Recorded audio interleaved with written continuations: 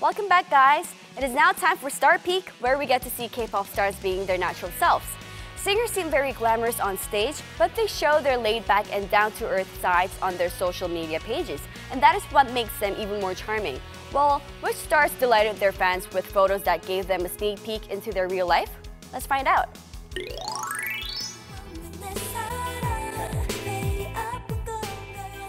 The first set of photos I have for you is of Lizzy from After School who has captivated many male fans with her cute and sexy qualities. Here are photos posted by Lizzy on her Twitter. She left a short comment saying, attack of Bangtokgi. Now, of those of you who don't know, Bangtokgi is the name of her pet dog. What a cute name, right? But did you know that it's actually her nickname? Lizzy named her dog after her nickname. Isn't that cute? Well, Bangtok and Lizzy seem to be meant for each other from these photos, and I'm sure many of her guy fans are jealous of this cute puppy. Lizzy also tweeted these pictures saying, Ta-da, a fox and pink puppet theater. Shinhwa TV with my Busan sister Eunji. Next to Lizzy was Chung Eunji of A-Pink, and they were both in animal costumes that were super duper adorable. These two are both from Busan, hence the nickname Busan Sisters, and they're very close to each other. Well, to the lovely Busan sisters, I hope you post more photos like these to bring smiles to your fans' faces. The next set of photos I have for you is of Beast, the six-member idol group with a huge fan base worldwide. These photos were posted by Lee Ki-kwang on Twitter. He said, recording with Junhyung, recording with Dujun. These photos taken with Yong Junhyung and Yoon Dujun show their playful personality and their handsome looks that shone even in casual outfits. So this proves it. It is not the spectacular stage outfits that make them look handsome. They're just naturally good looking. This photo was posted by Yong Junhyung on Instagram with a short message, nose horns. Hmm, are those horns growing out of his nostrils? Well, what is interesting is that he doesn't look funny with them on.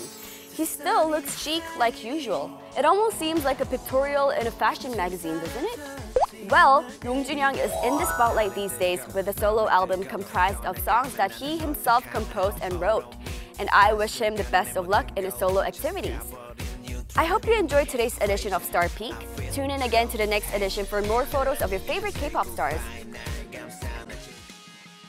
That's all I had in store for you today. But remember to come back tomorrow because I'll be back here with Eden to present you with the Hot 20 playlist and Smash Hit 5. We'll perform short but fun skits to make you smile too. So don't forget to join us. And now, before I let you go, I'm going to present you with a heartwarming Christmas carol sung by the artist of Cube Entertainment titled Christmas Song. So see you guys tomorrow and goodbye! Merry Christmas 괜히 또 설레게 하는 이말 화려해진 기분 좋은 날. Merry Christmas 그토록 기다려왔던 이 순간. 온종일 징그벨 징그벨 the way 노래 울려 퍼지고. 그대를 위한 선물을 준비하고 그대와 함께 보